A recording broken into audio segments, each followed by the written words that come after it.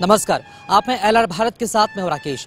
राजद के राज्यसभा सांसद मनोज झा ने सदन में गंभीर मुद्दा उठाया है। ये मुद्दा है, बिहार में कोरोना टेस्ट के नाम पर हुए घोटाले की। जी हाँ, सदन के अंदर राजद के राज्यसभा सांसद मनोज झा ने बिहार में हुए कोरोना टेस्ट के घोटाले की जाँच की मांग उठाई है।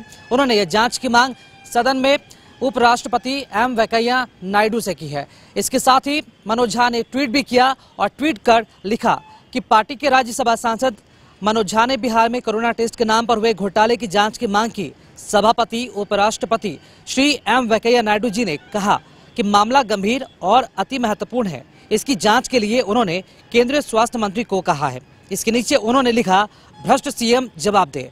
सभापति वेंकैया नायडू से भी इस विषय को महत्वपूर्ण बताते हुए सदन में मौजूद स्वास्थ्य मंत्री डॉक्टर हर्षवर्धन को इसे देखने को कहा गया है। आपको ये बताते चले कि मनोज झा के अलावा इसके पहले भी बिहार के पूर्व उप मुख्यमंत्री और नेता प्रतिपक्ष तेजस्वी यादव भी इस मुद्दे को उठा चुके हैं और उन्होंने इसे लेकर बिहार सरकार को घेरा और उन्होंने भी ट्वीट कर नीतीश सरकार को घेरा है और उन्होंने ट्वीट करते हुए लिखा कि बिहार की आत्मविहीन भ्रष्ट नीतीश सरकार के बस में होता तो कोरोना काल में गरीबों की लाशें बेचकर भी कमाई कर लेती। इंडियन एक्सप्रेस की जाँच में ये साफ़ तौर पर हो गया कि सरकार दावों के उलट कोरोना टेस्ट नहीं हुए हैं, और जो सरकार दावा किया है, उन दावों के उलट कोरोना टेस्ट नहीं हुए, और जो इसकी मनगढ़ंत टेस्टिंग दिखाकर अरबों का हेर फेर कर दिया गया।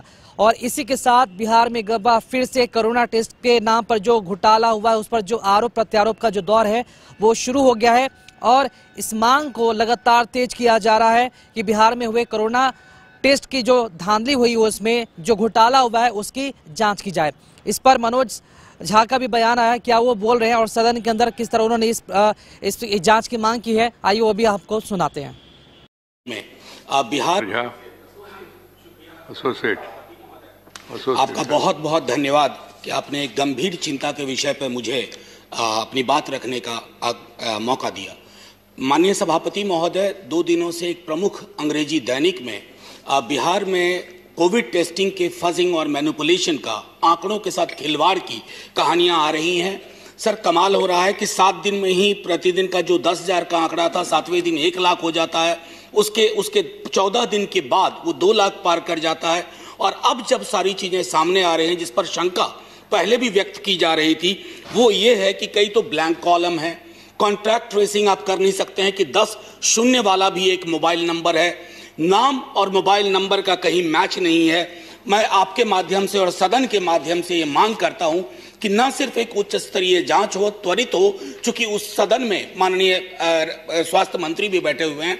एक और विषय रखना चाहूँगा कि आगे से हर जाँच में कम से कम आधार कार्ड पैन कार्ड या उस तरह के वैलिड डॉक्यूमेंट हो ताकि स्वास्थ्य के साथ ये खिलवाड़ ना हो सके। यही मेरी सबमिशन था। विषय महत्वपूर्ण है। हर्षवर्धन जी है तो देख लीजिए आज कल और आज सीरीज़ में वो आ रहे डिटेल सही है नहीं है थोड़ा इंक्वायरी में ही मालूम पड़ेगा। मगर ये विषय जाँच करने का विषय है। पेशेंट बिहार का डॉक्टर कोविड 19 पेशेंट के पास नहीं जा रही मेरा नहीं कहना है ये। जो टीम आई थी रिपोर्ट, तीन सदस्य की टीम, वो कह रही है। क्यों नहीं जा रही है? क्यों नहीं जा रही है? क्योंकि उसको पीपी किट उपलब्ध दिख रहा है। शर्मनाक।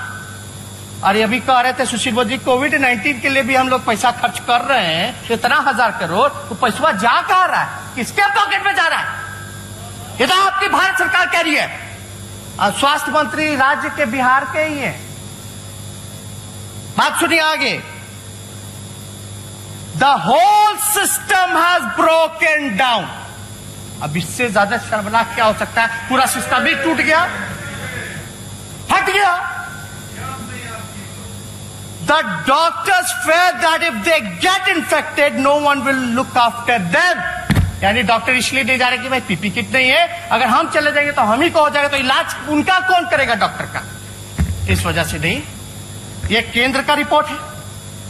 As per union government the Bihar government just not spending money on fighting Covid 19 मतलब केंद्र सरकार कह रही है कि बिहार सरकार कोविड 19 में कोरोना के लिए पैसे नहीं खर्च कर रही है। अरे भाई, अद्भुत है डबल इंजन का सरकार। हाँ उसी का सरकार। और कह रहा कि पैसे नहीं खर्च कर रहा। तो बिहार में कोरोना टेस्ट के नाम पर घोटाले की जाँच की मांग अब तेज हो गई है। मनोज झा के अलावा पूर्व उप मुख्यमंत्री और नेता प्रतिपक्ष तेजस्वी यादव ने भी लगातार सरकार पर हमले कर। ये देखना यह होगा कि इस घोटाले की जाँच हो होती है या फिर एक बार फिर से इस पर टाल मटोल किया जाता है। खबरों में अपडेट बने रहने के लिए आप बने रहे भारत के साथ। नमस्कार।